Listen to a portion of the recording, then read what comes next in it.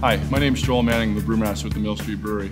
We're here talking about pairing our lemon tea beer with whitefish. It's one of the best pairings going. We have a lemon tea beer, which is a very unique beer to Mill Street. It's a beer that we've made for about three years now. It's a wheat-based beer that has been fermented and then aged with whole loose leaf tea, both Earl Grey tea and black tea. And then we add a little tiny bit of uh, lemon puree to it at the end of aging to just give it this kiss of uh, citrus. It is a very complex beer. It's tea flavored, it's lemony, it almost tastes like American unsweetened iced tea, but in beer form. It's 5% alcohol, but it's made on a wheat beer base, so it has a texture and a creaminess that makes it just wonderful.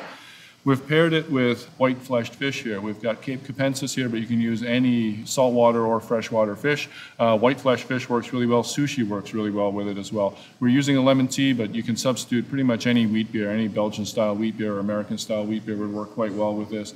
And the lemon characteristic in the beer and the underlying tea dryness just works absolutely perfectly with seafood. So this is a great pairing. You get this uh, very light citrusy sort of reduction that we have on the white fish that works absolutely perfectly with the spiciness and the floral notes of uh, this wonderful beer.